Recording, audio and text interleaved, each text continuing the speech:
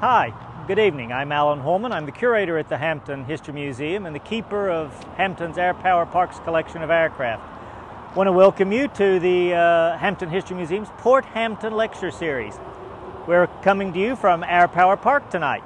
Why would we be coming to you from Air Power Park? That's a very good question. We have a couple of things to do tonight. Number one, we want to experiment here a little bit on how we might reach you in a way uh, different from what we've done in the past. Previously, we've asked you to come into our museum, get around us in, a, in our great hall where we would have a wonderful lecturer, and we would be able to uh, enjoy each other's company. But things have changed a little bit lately, and uh, we don't have the uh, luxury of doing it that way right now.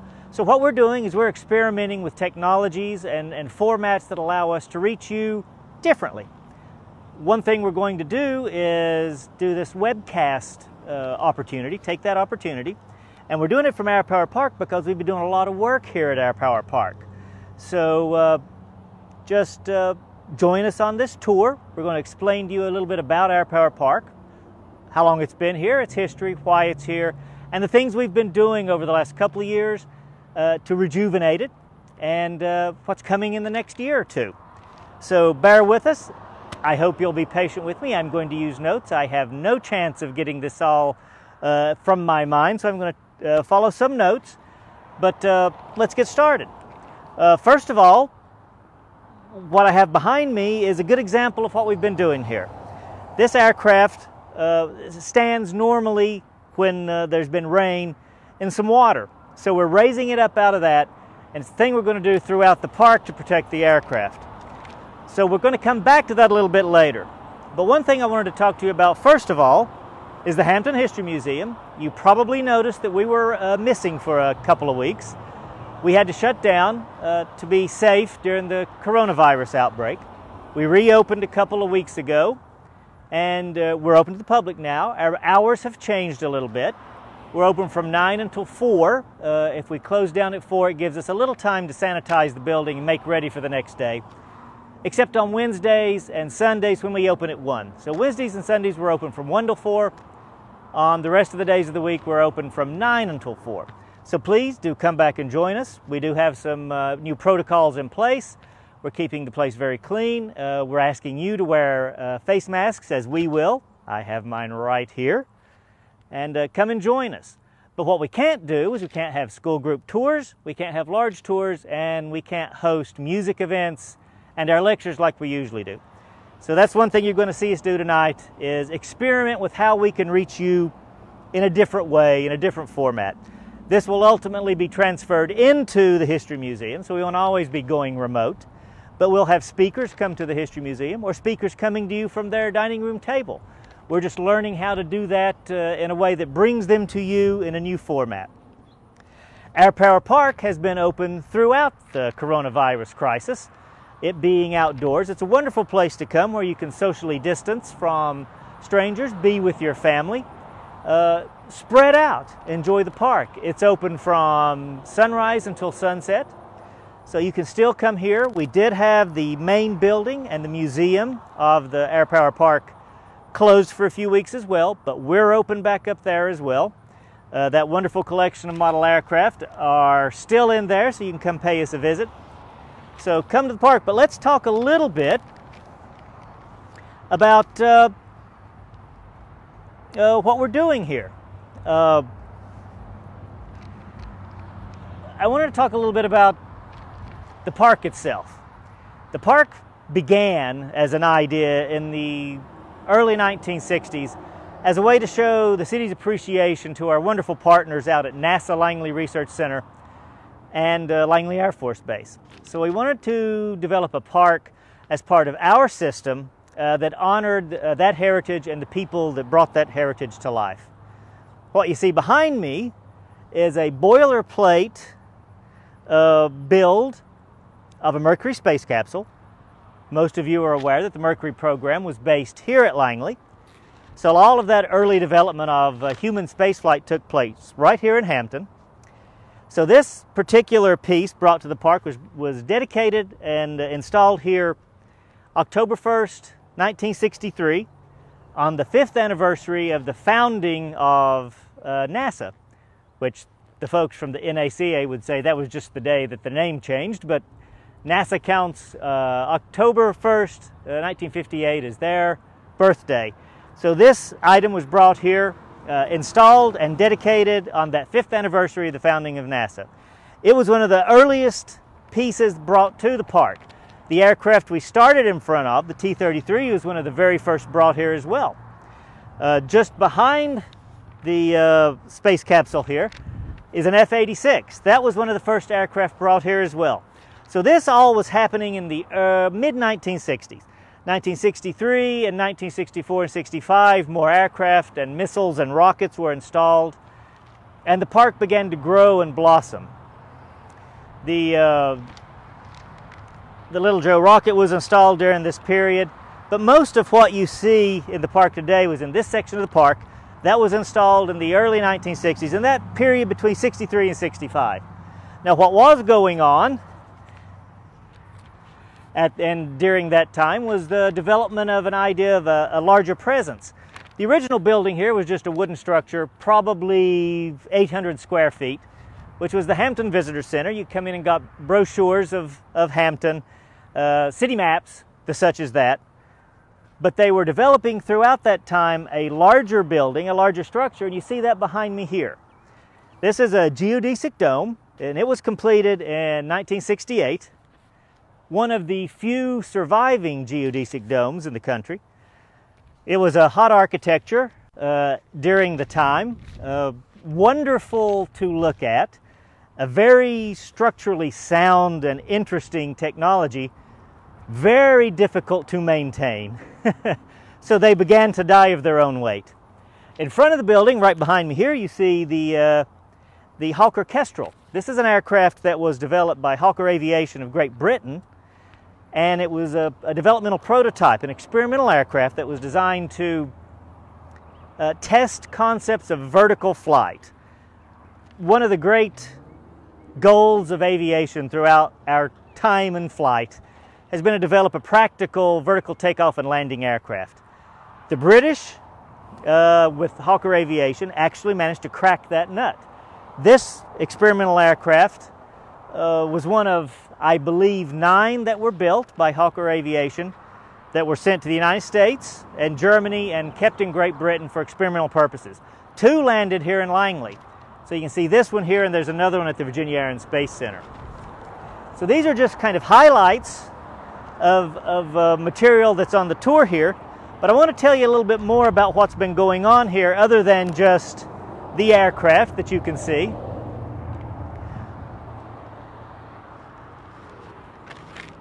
Some couple of years ago, uh, we invited you into the History Museum to uh, tell us what you thought about Air Power Park and how we might use it. So we listened to you and we got the message from you that uh, you rather liked Air Power Park and you wanted to keep it around and, and do a better job with it, uh, do a better job maintaining it.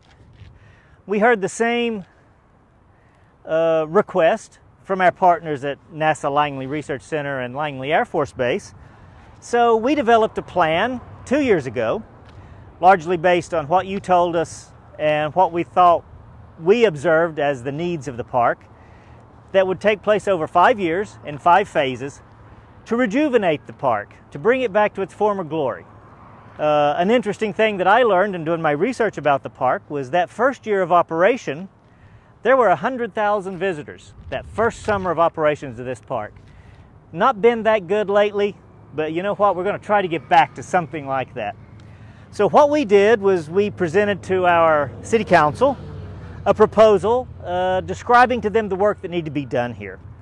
Largely, it began with the aircraft themselves were kind of dull and dingy and badly in need of a, of a paint job, and they needed uh, bits and pieces of rust removed. So they gave us the go ahead.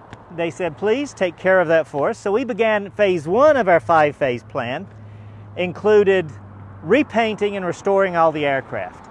Now we began that work uh, last summer, so it's been going on a little more than a year.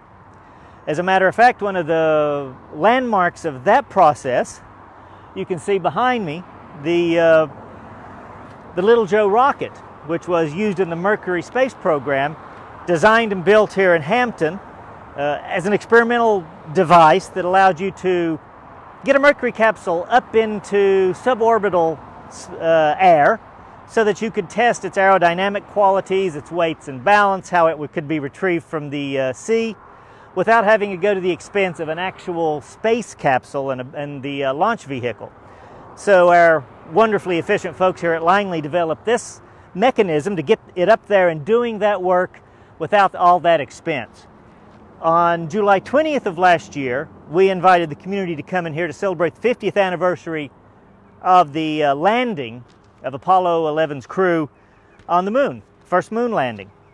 So we had a nice crowd of about a thousand people came out here on a sweltering hot Saturday and enjoyed activities that we did with our uh, friends at NASA and we unveiled the freshly restored capsule and how that ties into a broader history of, of uh, this air power park I discovered in some doing some research that when Apollo 11 had its crew land on the moon on July 20th, 1969. Folks watched it on TV, but after they watched it on TV, they came to Air Power Park to be together to celebrate that accomplishment. I thought that was a wonderfully appropriate thing for them to do. So what we've done, uh, back to the, uh, the, the theme we were talking about of what we're going to do to restore the park.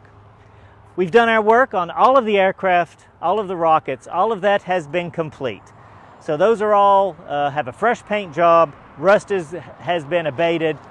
And uh, we're working on some other things about how to maintain them, how to give them an annual washing and all that. But we've also been doing some work here at the entrance of the Air Power Park, which was more or less obscured by a couple of trees. Uh, and we have taken the opportunity to install a couple of rockets out front here. These are Nike Ajax missiles that were uh, used all over uh, the United States and with our NATO allies as the first successful anti-aircraft missile battery type. The closest one to us here was in Fox Hill. And these, aircraft, these missiles were designed to uh, be launched uh, with a range of about 30 miles and uh, knock down Russian bombers before they could get to a strategic asset. Hampton is a very strong strategic asset. So we've installed those out front here to give folks uh, a welcoming indication of what this park's all about. Plus we've installed this uh, colonnade of flag poles here. We don't have the flags up yet. Uh, we're sorting out some issues uh, with the actual rigging of, for the flags. Uh, got a learning curve there myself. But ultimately what you'll see here are on the sides uh, the flags for all of the service branches plus NASA. And on the center mast here, which was installed early in the park's life, you'll see the national flag, the state flag, and the flag of the city of Hampton. So we've, we've begun the work. We're two years in. Uh, we've made great headway. Uh, come back to us in a year and this dirt I'm walking on will be nice lush grass. But these uh, features here, the flagpoles and the missiles, were just installed a month ago. So we've not had time to, uh, to to get any more grass growing here. And if you've tried to grow grass in Hampton in the summertime, you realize it's not really going to happen. But we ran into another issue. So we've taken care of the things that are at our fingertips, uh, taking care of the aircraft, remounting some, some objects that need to be mounted in a different way. But there's another kind of fundamental issue here that's, uh, that's worrisome, but we think we have a solution. Our charge in phase two of the work, which has happened over the last six months, is to develop a plan to regrade and develop a drainage system for the park that will allow it to be dry and firm underfoot and very useful as a park and safe and conducive to, for the aircraft. So uh, a, a wonderful engineering company has come up with a plan for us. What we intend to do as funding becomes available, is regrade the land here. Uh, and by regrade, I mean we will uh, change the topography here. So we will raise the ground level here. From here, probably 20, 30 inches. so that it will go, it will drain in a, in a single sheet very smoothly from the sidewalk there all the way to Newmarket Creek that you can see in the distance there. Uh, that will keep water from pooling up here and, and standing underneath the aircraft and the rockets. If you've been by Air Power Park or in Air Power Park after a wet week or two, first of all, you would notice that where I'm standing, you'd probably be up to your ankles in mud, and this rocket and the other aircraft would be standing in water three or four inches deep. Not good for you, not as much fun as it should be, and certainly not good for the aircraft. So, our plan is to figure out a way to get that water to drain away from here. And that grading plan will do that. So hopefully in the next year or so, probably next summer, you'll see that kind of work going on here. So don't be surprised if you see dump trucks, hundreds of dump trucks bringing in fill dirt to raise the whole level here. And when we do that, we've got other work to do. We can't just raise the ground level without taking care of what's already standing here. So aircraft and missiles and stuff that you see close to the ground will all have to be raised up so that it's clear of the new grade. That's why they need a curator to help with this. That's an exciting part of the project for me. We get to move around all of these wonderful chess pieces here, aircraft and spacecraft. Another problem that we have that uh, is not evident very much today because it's a wonderfully sunny day and it's been dry for several days is Newmarket Creek, which is just there in the distance, wants to come out of its bank during a storm. I see Seamus is showing you our Nike Hercules missile. Uh, you're seeing a lot of rust and degradation uh, that's what happens when water stands in the park and we can't get it to drain out correctly. So that is the kind of thing we are desperate to prevent from, ha from happening going forward. That's why we're doing all the work that we're doing out here. So you can see Newmarket Creek back there and the wetlands beyond it. The boundary of Air Power Park is, uh, we're actually bounded by Mercury Boulevard, LaSalle Avenue, and Newmarket Creek. So when we have a tropical storm or a nor'easter, or sometimes just a nasty low, Newmarket Creek will come out of its banks and it will flood all the way from where we're standing. This will be six inches deep in water all the way up to the fence that we came through. So our plan is to not only do a grading here that would make the water sheet away once water is in the park, or falling water from rainfall will go to the creek, but also uh, prevent that kind of flooding coming in, the tidal flooding coming in. We'll talk a little bit more of that, about that in just a second. But what I want to talk to you about right now is one of the kind of ongoing projects we have. This is uh, an F-89 uh, Scorpion. Uh, it was an interceptor aircraft from the 1950s. A big ponderous aircraft designed to carry a big ponderous radar set and launch rockets and missiles at Russian bombers before they got here to be attacked by Ajax missiles. It suffered like the T-33 did from having been too close to the ground and its mounts gave way and the wheels and the landing gear were actually down on the ground. So what we're doing here, as you can see, is the aircraft itself has been raised up off the ground. The landing gear is a good foot clear of the ground. It's propped up on its uh, wing spars, the strongest part of the aircraft.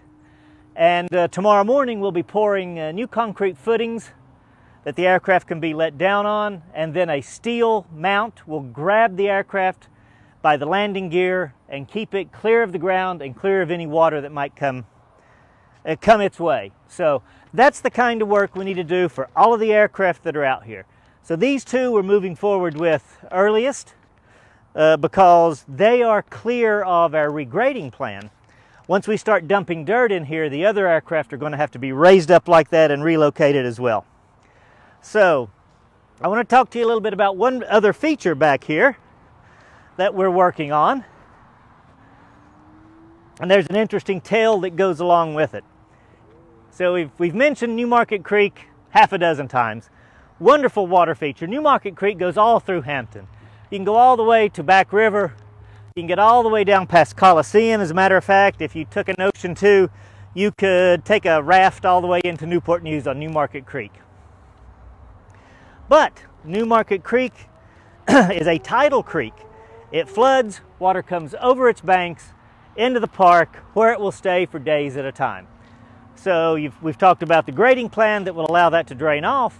We also have a plan in place that will keep the water from coming out of New Market Creek and getting into the park. Me here to the banks of the creek, a wonderful view.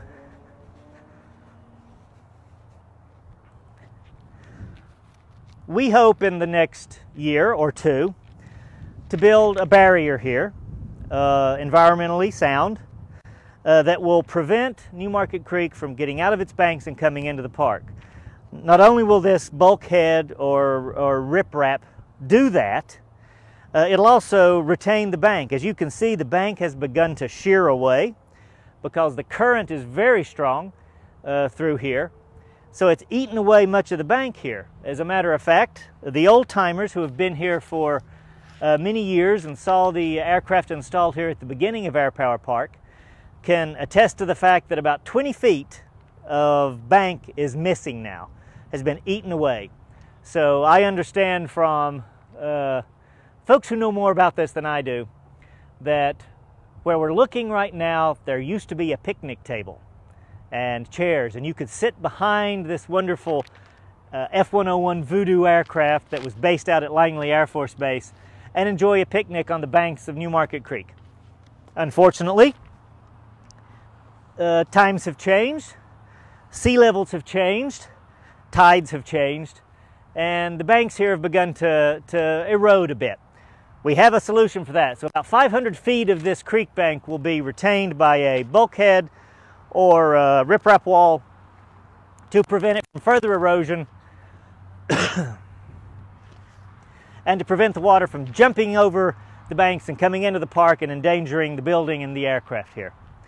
One other feature I want to talk about, uh, which is part of our plan moving forward, is we have one of the city's best access points for New Market Creek. Now, you, New Market Creek is a wonderful asset for people who enjoy nature and enjoy the water in Hampton. So we have here a floating dock that allows you to put a kayak or a canoe into the creek here. Just saw a gentleman carrying a canoe across the park through the aircraft, brought it down, put it in the creek not five minutes ago. But uh, this dock is a little bit worn out and it's uh, small and it is not accessible to all of our citizens. So the new plan is to replace this dock that'll be integrated with our new ba barrier here. And it'll be a much larger dock with more available space, and it'll be handicap accessible. So that is part of our new plan.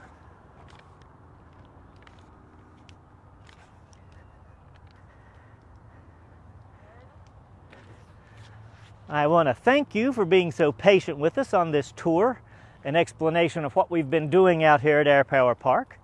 I hope uh, you'll take it to heart, uh, and I hope that we are doing uh, what you had asked us to do those two years ago when you came into the museum, and uh, we asked you your opinion. So, uh, I guess what we're doing is we're going to wrap up here. Signs interpretive signage. Oh, see, see. Now here's another thing. This is the part of the experiment. Seamus is uh, reminding me of things I've forgotten. So another thing that we've done out here that you haven't seen yet, that'll be coming this summer, is there are no labels, no signs that tell you what these aircraft are, what's going on here in the park. We're fixing that, and those signs that will tell you about each of these aircraft, they'll be installed this summer. Uh, so hopefully by the end of this month, they'll be out there and you'll be able to come down here, learn a little bit more about the aircraft that you're walking through and uh, take a little bit back home with you. So uh, you'll enjoy yourself, enjoy the aircraft, learn a little bit, and mostly we want you to get the message that uh, Hampton has this wonderfully deep and rich heritage of aviation and space research. Our allies out at Langley Air Force Base have been here since 1917, as has uh, NASA Langley. And this park is here to honor them to draw attention to that heritage and to honor those folks who have made that heritage so rich and successful. So come and join us at Air Power Park. Uh, get a first-hand view of all these things. And, and like I said, like tomorrow morning, you'd be able to see this aircraft have some concrete poured underneath it. You'll see things going on. But also keep in mind that we're working on other ways to access us, to get through to us, for us to get through to you at the History Museum. So uh, for the next few months, we'll be doing stuff like this, uh, remotely uh, or on site, but webcasting, so that you'll still be able to come in, get a taste of our wonderful lecturers, Seamus's wonderful music series. We're working on uh, the challenge of getting that together for us. So keep an eye on our Facebook page, keep an eye on our website. You'll see us uh, developing things and bringing them to you on a regular basis moving forward. Soon enough, we'll be back in the old pattern where we can bring you into the building and you can be part of our close circle. But even then, we're going to continue doing webcasts like that. So you can come to us if you can. If you can't, you get on your computer and you go to our website. Thank you very much for joining us, and I'll see you soon.